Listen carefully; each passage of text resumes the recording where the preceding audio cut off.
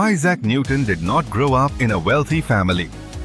He grew up on a quiet farm in Woolsthorpe, England. While other kids played outside, Newton spent his time building things. Windmills, water clocks, sundials, anything he could imagine, he tried to create. He wasn't a talker. He wasn't popular. But his curiosity was unstoppable. When he went to school, he didn't stand out at first. But after a challenge from a classmate, Newton pushed himself harder than ever. He climbed from ordinary student to the top of the class. His teachers noticed something remarkable. This boy didn't just memorize facts. He wanted to understand how the world worked. That ambition led him to Trinity College at Cambridge University, a place filled with mathematics, philosophy, and brilliant thinkers.